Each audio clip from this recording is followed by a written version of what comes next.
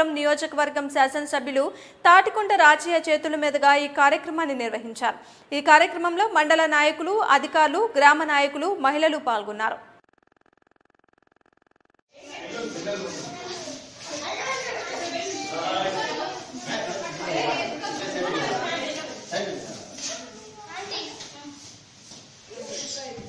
Okay okay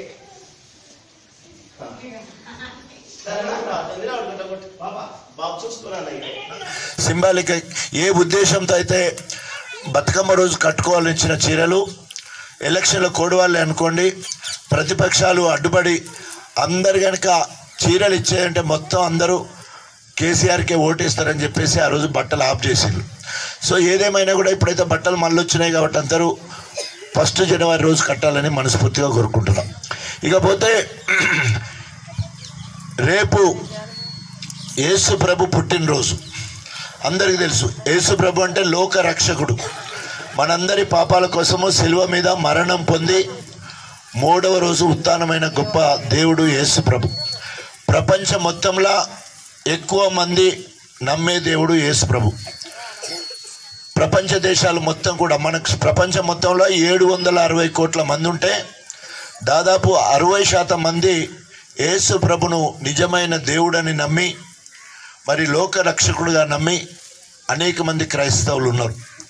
so ఈరోజు భారతదేశం మొత్తంలో కూడా మన దగ్గర కంటే ప్రపంచం మొత్తంలో ఒకే ఒక్క పండుగ చేసుకుంటారు. అది ఏంటంటే క్రిస్మస్ పండుగ. ప్రపంచం మొత్తంలో దాదాపు రెండు వందల నలభై రెండు దేశాలు ఉంటే అన్ని దేశాలలో జరిగే ఏకైక పండుగ క్రిస్మస్ పండుగ. ఇది యేసు ప్రభును మాదిరిగా తీసుకొని మనమందరం కూడా నీ వలే నీ ఆయన ఎవరి రక్షణ కోసం అయితే యేసు ప్రభు ఈ లోకానికి వచ్చిండో యూదుల రక్షణ కోసం వచ్చిన యేసు ప్రభును ఆ యూదులే మళ్ళీ సిలువ వేయాలి సిలువ వేయాలని చెప్పేసి ఆయనను సిలువ వేసే పరిస్థితి వచ్చింది. ఈ లోకం ఎట్లా ఉంటుందంటే నరహంతకుడు దేశద్రోహి అయిన బరబ్బా అనే ఒక కథను ఉంటాడు. ఆయనకేమో విడుదల చేయాలి లోక రక్షకుడుగా వచ్చిన యేసు ప్రభుకు సిలువ వేయాలన్నారు. సిలువ మరణం చాలా భయంకరమైన మరణం.